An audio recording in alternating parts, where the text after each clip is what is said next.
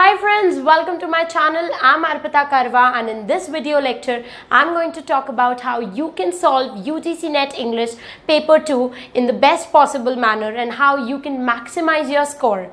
So we'll be talking about how you need to solve the question, what is the paper pattern, how you need to gradually move from one question to other, what are the things that you need to keep in mind while you are solving MCQs. But before we do that, I would like to tell you that two things are very important when it comes to solving a MCQ paper. The first thing is your pre-existing knowledge. Whenever you're solving any MCQ paper, you need to have pre-existing knowledge. You need to know the paper well. You need to know the syllabus well because no cheat codes, no tips, no quick revision strategy will work unless and until you have not worked hard. Number two, the paper solving will also depend upon the difficulty of paper. If the paper is difficult, the things that I'm going to talk about in this video lecture might not work. If the paper is easy, the things might work very well, but it will totally depend upon the difficulty level of the paper but if the paper is of moderate difficulty level as we have seen in the previous five years in that case these tips are tested because i myself have applied it. I have talked to several experts and on the basis of their experience on the basis of their learning i'm telling you these things. So let's begin. The first thing that you need to keep in mind whenever you are looking at a paper of ugc net english you need to first categorize this entire paper in three segments there would be 50% questions that you will be 100% sure about. If you have prepared thoroughly, then from the paper, you can definitely take up a section of 50% which you know 100%. The next section will be of 30% questions which you are not very sure about. There comes the need of educated guesses. Okay, you might have heard about those writers, you might have heard about the works, but you might not know the actual answer. And the third set of question is forms the 20% uh, part of the paper. And these 20% questions are questions you might never come across while you're preparing for these exams. Because the paper is designed in such a manner that you're not able to score more than 70 to 80% because what happens is that whenever you're preparing for any of these exams if a person uh, who teaches such exam himself sits for the paper and finds that he is not able to score more than 70-80% that means the difficulty level of the paper is such that nobody can score more than 80% okay. So you need to keep this in mind that you need to chart out the questions in such a manner that there would be 50% questions that I will be completely sure about. There would be next 30% questions which I might need to work more and I might need to uh, work towards educated guess and then there will be 20% question which I might find totally alien because when I started with my UGC net preparation, I did this big blunder.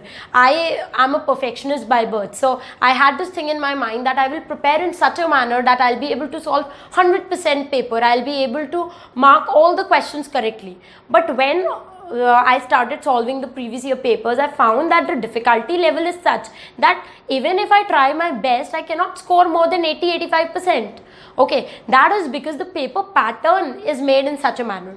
So when we have unrealistic expectations from ourselves we panic when such situation comes. That is when if you are thinking that you will be able to score 100% you sit in the exam hall and you might come across five questions you're not at all aware about that is the moment you will have a panic attack. So it's always better to know the paper pattern before approaching the exam hall so that you're aware that okay even if you encounter few questions which you're not sure about you know that this is how the paper is set. There will be questions i'll be sure about there will be questions which I might not have any idea about and there will be questions on which I need to work on.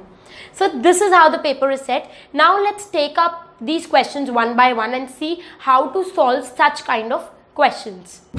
So now once you have got the question paper in your hand, the first thing that you need to do is that you need to start reading from question number one and just keep on marking the right answer of all the questions that you are 100% sure about. So you need to first attempt the 50% chunk of the paper which you are 100% sure about. It might vary according to the difficulty of paper. If the paper is very difficult, you might not be able to attempt more than 30-35% question with surety. Okay, so first attempt whatever questions you are sure about first attempt those questions in the question paper. So that it will help you in two ways. Number one it will boost your confidence because if you directly jump into questions you don't know your confidence will zero down. And once your confidence is gone then you might not be able to think about questions that you might have answered correctly when you were confident about your own self second important thing that you will be uh, sure about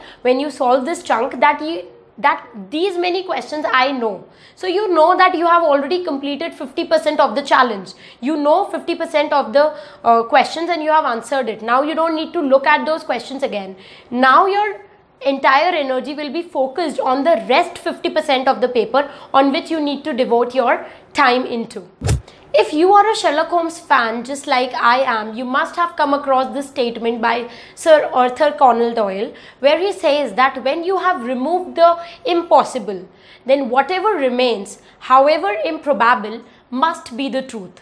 And this is how you need to solve the next 30% chunk of your paper, which will fall under the category of guesswork or educated guesses as it is commonly known as. See, the best way to solve questions whose answer you're not sure of is through elimination. And this is what Arthur Conan Doyle is saying in these lines that whenever you strike out all the options which is not correct you strike out all the options which you think are not correct in that case what remains is the truth so this is the method of elimination which you can use in order to solve the rest 30% questions जो देखे देखे लग रहे हैं जो आपको पता है कहीं ना कहीं अगर आप थोड़ा दिमाग लगाओगे तो you might come up with answer.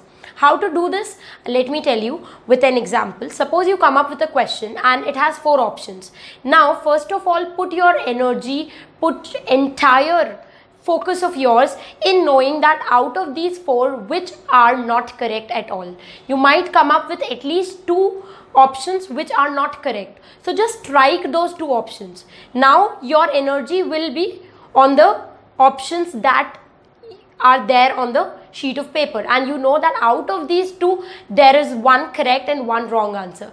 And also it will help you in um, increasing the probability of getting a right answer. Because what happens is that if out of these four options you are putting a mark on one answer the probability of that mark being correct is 25% but on the other hand if you have already removed two options and you have two options, the probability of getting a correct answer is 50%.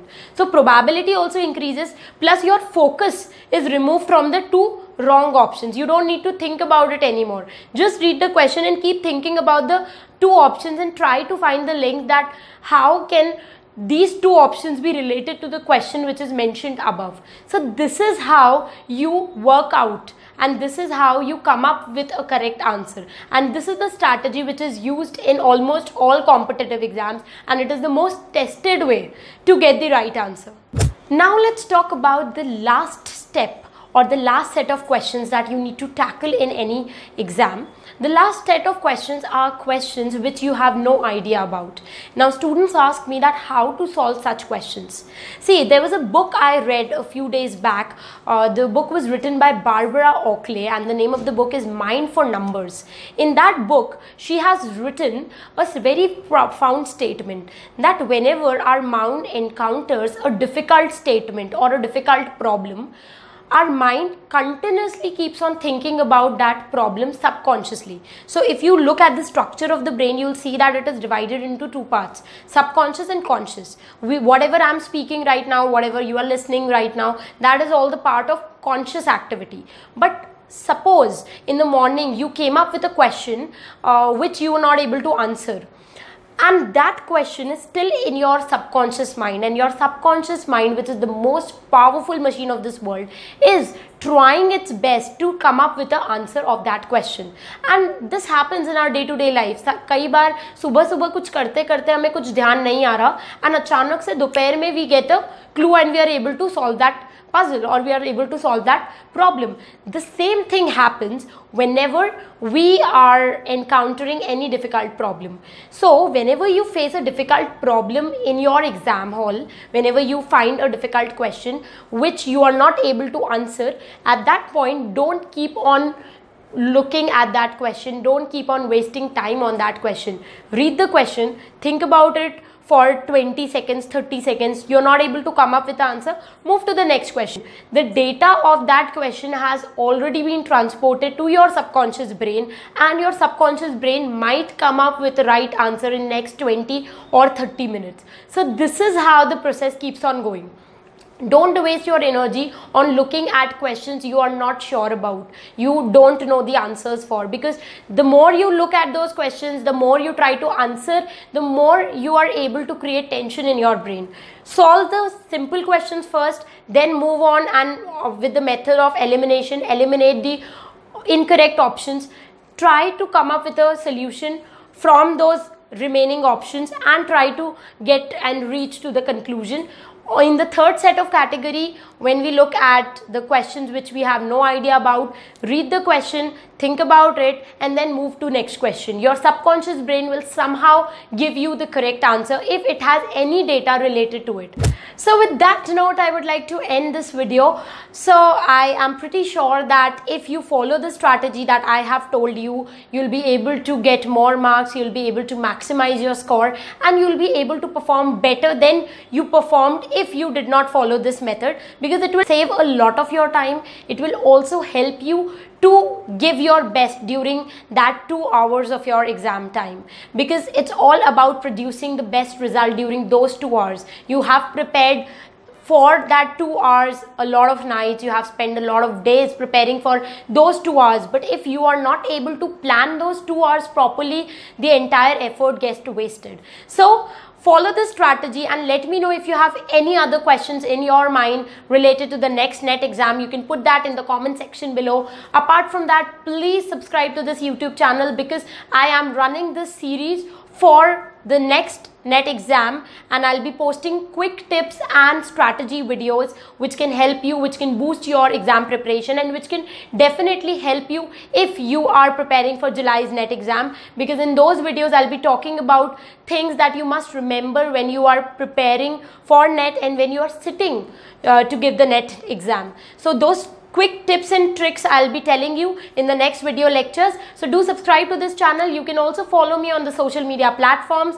and do go and visit my website arpitakarwa.com. There's a list of online course content which contains a list of 700 plus writers which must be studied by any student who is preparing for NET exam. So if you too are preparing for NET exam then go and visit that website and see the list of writers and start your preparation accordingly. So with that note, I end this video. Thank you so much. Happy learning, keep loving literature and stay tuned to arpitakarwa.com.